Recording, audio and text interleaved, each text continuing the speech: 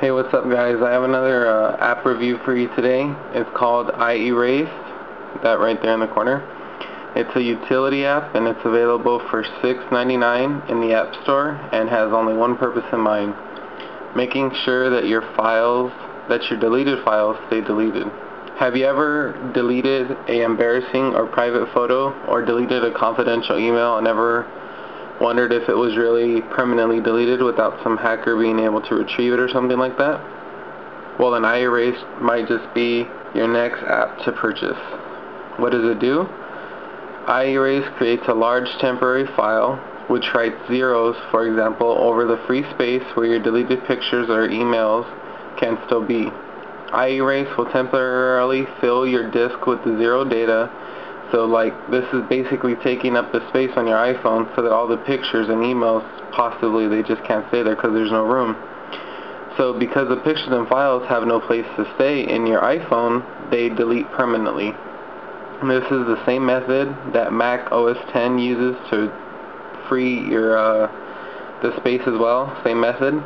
Um, I would like to show a video or example, but the process of it takes longer than the 10 minutes that YouTube would allow um, me 10 minutes into the process for me and it was only about 45% complete. It had already done about 1 gigabyte. Um, this explains the pictures you are seeing. Really there isn't much to show. All you get is this confirmation. This confirmation here that tells you if you would like to proceed with the process but tells you to keep your iPhone connected to a power source and having your auto lock set to never like so. In the new uh, current version 1.1, it allows you to run under lock.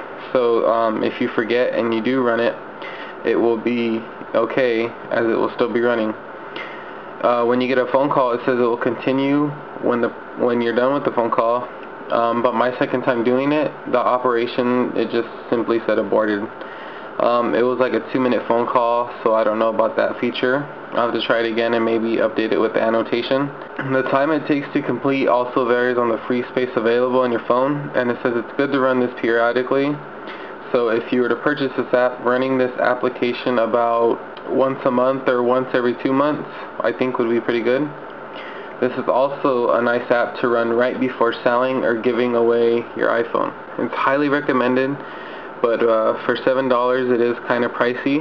But um, if you need your privacy or need to make sure that those pictures are never ever seen again or your emails are never checked or something like that. I think um, it might be worth it. So like I said seven dollars in the App Store iErase um, it's iPhone 3.0 compatible um, has a pretty good star rating three and a half. Um, I would probably recommend it around 4. It does what it says and everything, um, so I guess that's good. The process takes forever, but like I said, that depends all on your free space available on your iPhone. And uh, so obviously right here it says this utility will zero the free space on your iPhone's user portion. No live data will be deleted. Keep your iPhone connected to a power source and set your auto lock preference never to avoid sleeping.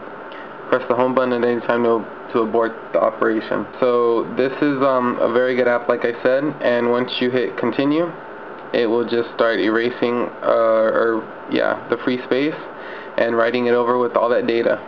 And once it is done it will simply um, the iPhone will inform you that you're running out of free space. You just allow it to finish and once it's complete all the space will be freed up again.